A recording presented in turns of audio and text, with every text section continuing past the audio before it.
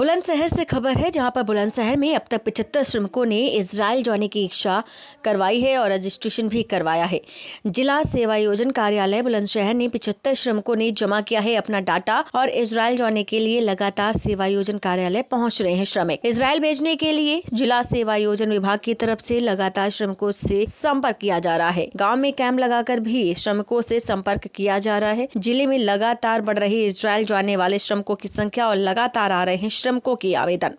ये बताइए क्या आपका नाम है कहाँ के रहने वाले और क्यों आप इसराइल जाना चाहते हैं? मेरा नाम कुलदीप कुमार है मैं अच्छे खुर्द का रहने वाला हूँ और इसराइल में मैंने ड्राइवरी पे अपना अप्लाई करा है और यहाँ से ज़्यादा सैलरी है वहाँ। सरकार की निगरानी में जा रहे हैं सरकार भेज रही है और सरकार भी चाहती है कि यहाँ से जो बेरोज़गार रोज़गार हो सरकार ने बहुत रोज़गार निकाल रखे पर लेकिन यहाँ सैलरी नहीं है इतनी जितनी वहाँ सैलरी है।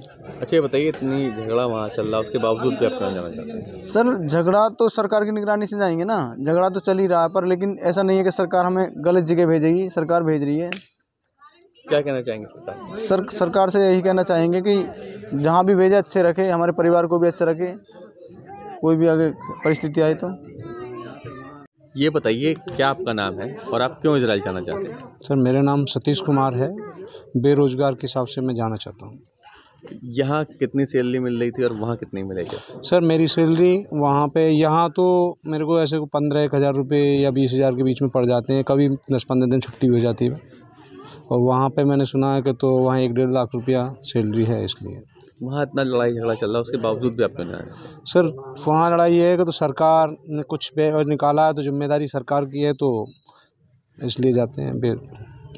परिवार में आपने बात की तो क्या कहा सर परिवार में मैंने बात की थी तो बोले कि तो भाई इतनी दूर लड़ाई चल रही है तो इसलिए मैंने की सरकार ने जो ज़िम्मेदारी उठाई है तो उनकी ज़िम्मेदारी बनती है। क्या काम करेंगे हम आज? क्या करते हैं? सर वहाँ बेल्डिंग का काम करना है जी। क्या कहना चाहेंगे सर? सरकार से ये है कि तो परिवार में थोड़ी ज़िम्मेदारी रखे और हमारी भी कोई वहाँ पे कोई प्रॉब्लम आए तो थोड़ी ज़िम्मेदारी उन वहाँ से भी रखे। बुलंदशहर से संजीव भटनागर की रिपोर्ट।